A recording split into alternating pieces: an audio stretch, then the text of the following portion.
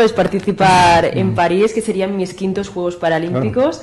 Eh, y luego pues ya me lo plantearía año a año porque bueno, llevo muchísimos años, llevo 21 años compitiendo y a nivel internacional pues desde los 13 añitos. Así que mm, de momento el objetivo más grande es participar en París, que, que tengo muchas ganas, mucha ambición y luego ya me lo plantearía.